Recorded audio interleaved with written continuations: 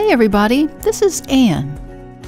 Once you get the hang of throwing basic cylinders and bowls on the wheel, where do you go from there?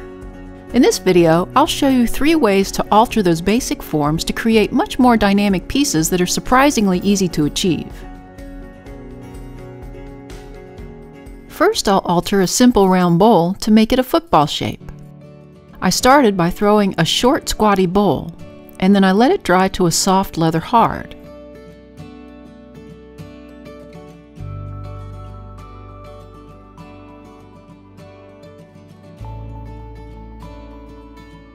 I flipped it over, centered it, then trimmed and rounded out a nice foot. If you'd like to see more about trimming a bowl, check out the video link above.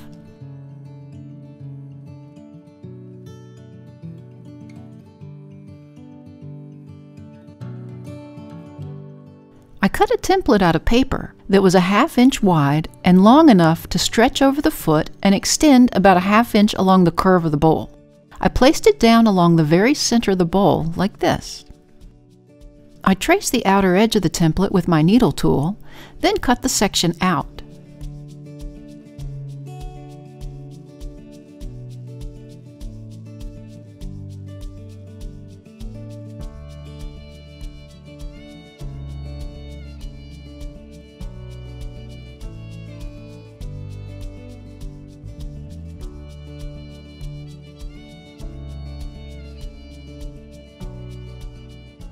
Scored the inner area along the opening, then gently pushed the clay inward until it came together.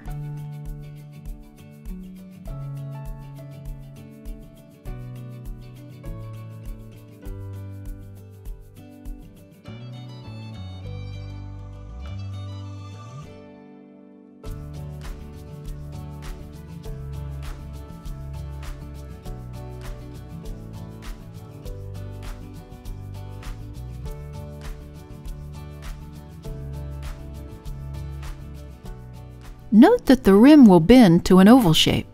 I kept an eye on it to make sure that part of the bowl wouldn't crack. If I see that the clay is a bit too dry, I know I can add a little water to soften it up. I made sure to work the seam together along the center of the bowl with my fingers. I then used a rib to smooth it out. I turned the bowl back over and worked in little coils along the seam to make sure it's secure and wouldn't pull apart.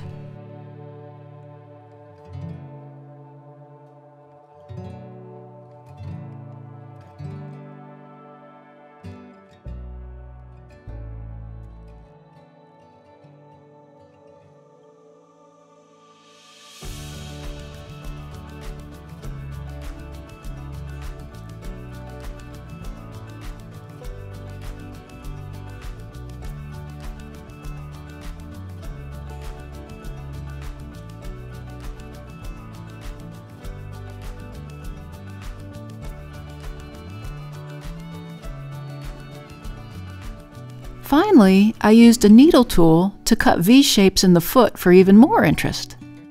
This breaks up the foot, accentuates the narrowness of the form, and actually points your eye towards the alteration points of the bowl.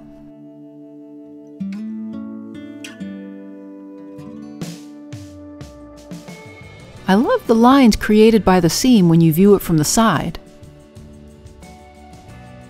Now here's the glazed piece. Jim positioned auto detailing tape in a pattern across the bowl, then glazed it with Amaco wasabi.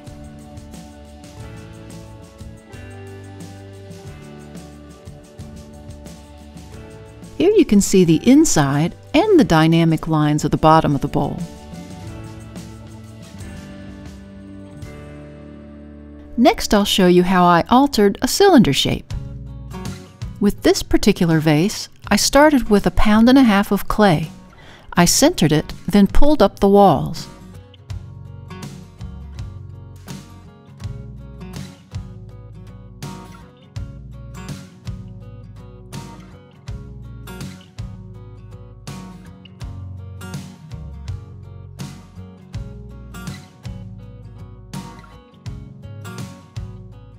I cinched in the top to create the flange.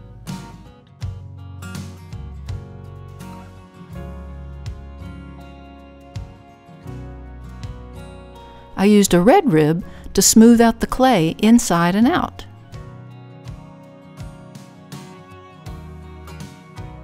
I softened the edges of the rim with my fingers.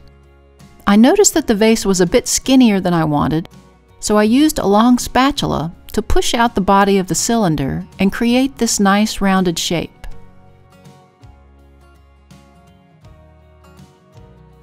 I ribbed it one more time along the outside to get it smooth.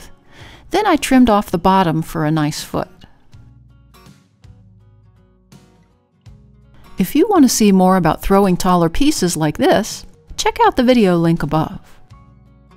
I set this aside to dry to a soft leather hard. Now here's a vase I threw previously that's now a bit drier than I wanted, but I can still work with it. I marked off the top of the rim with marks directly north and south from each other. Then I marked two marks just northwest and northeast from the other two marks as shown. Starting just to the left of the south mark, I drew a curved line down until I got to the northwest mark. Then back up about a half inch from the north mark, back down to the southwest mark,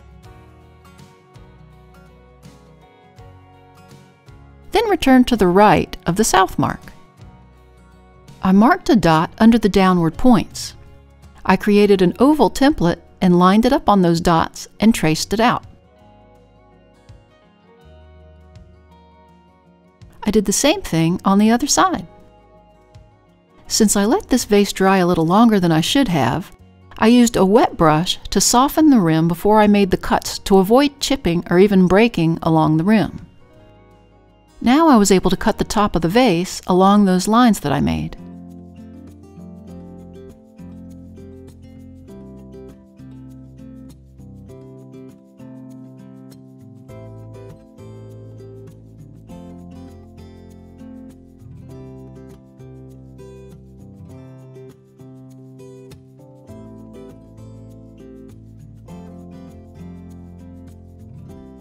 With wet fingers, I softened the hard edges that I just cut.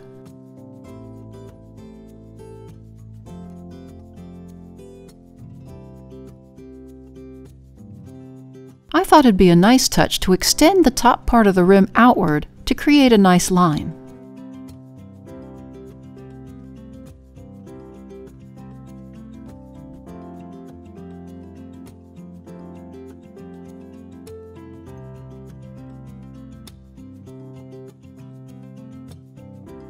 To echo the higher extended edge, I did the same thing to the lower back part of the rim. I then cut out the oval shapes and softened the edges like I did along the rim.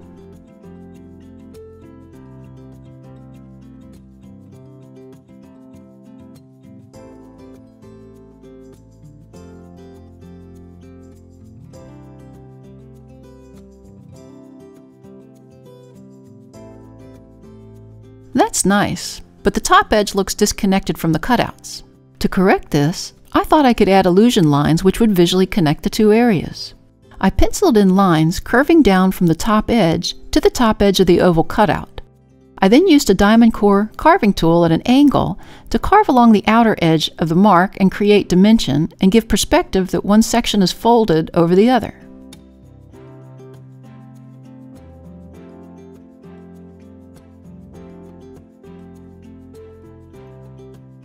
Yeah, that's much better. And look, if you hold it straight towards you, you get a dolphin face. and here it is all glazed. We used automotive detailing tape for the lines around the bottom, then glazed it with Amaco Sky and fired it to cone 5.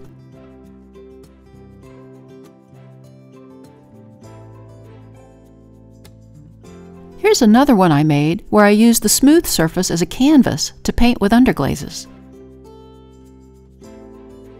The altered forms provide lots of possibilities for various decorative surfaces.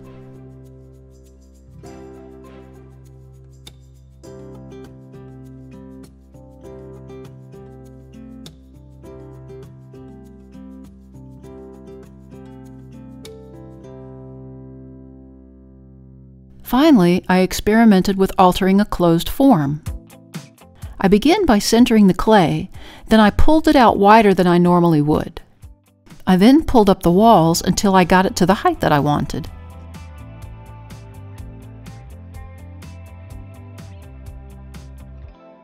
Then I cinched in the top part to close it off. If you want to see more on how to throw closed forms, see the video link above.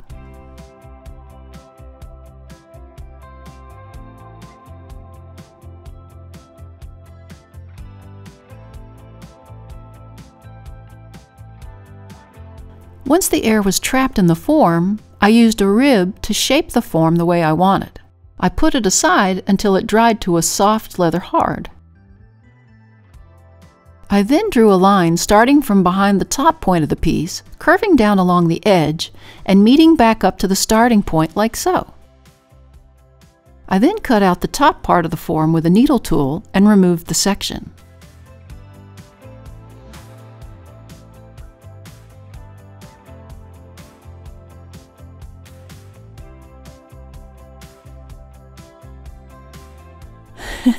you remember these?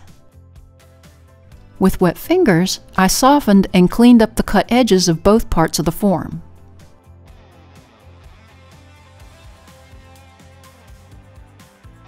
I then fit the top part of the form over the opening so it was offset. I used a pencil to mark at the bottom where they overlapped.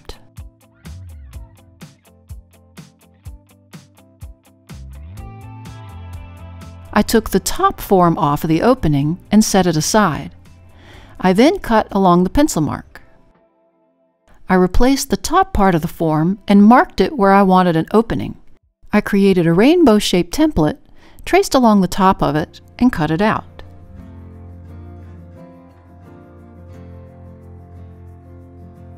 I squeezed the form so the slit would open up. The clay was a bit stiff, so with a wet finger, I worked the clay until it softened and it opened up for me.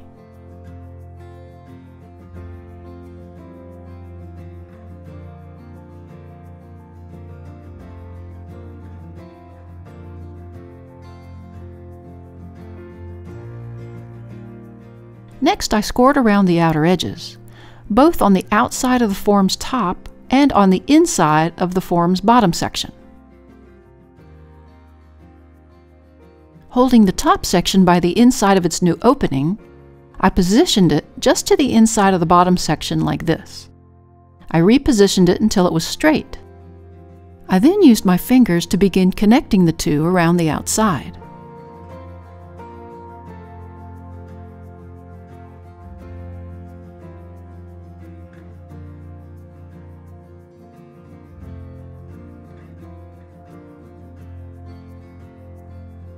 I then used my thumb to connect the top edges together like this.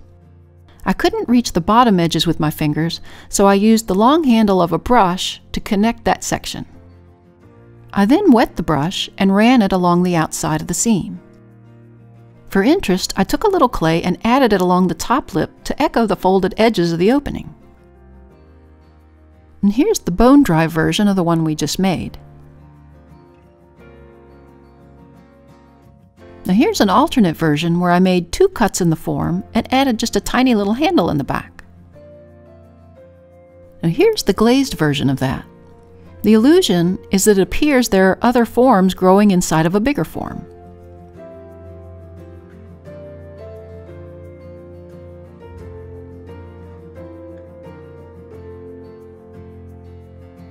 I love the lines of those pieces. If you like this video, please like, share, and subscribe to our channel. We'll see you next time in the studio.